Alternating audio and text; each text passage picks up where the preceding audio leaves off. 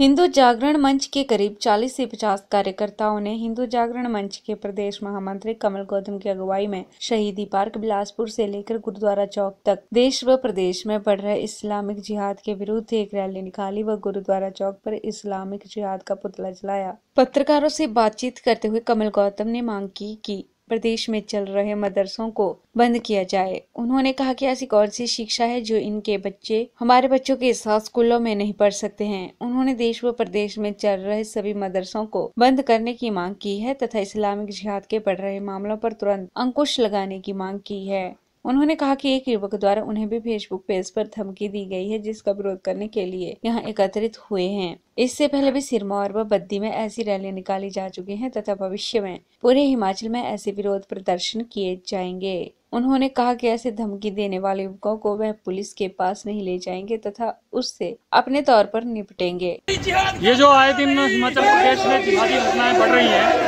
इनको लेकर के हिंदू जागरण मंच जो है पूरे प्रदेश भर में आंदोलन कर रहा है। और उसी कड़ी में आज हिंदू जागरण मंच ने जिला बिलासपुर में इस्लामिक जिहाद और लव जिहाद के विरोध में ये आंदोलन किया है और इस्लामिक जिहाद का हमने पुतला दहन किया है।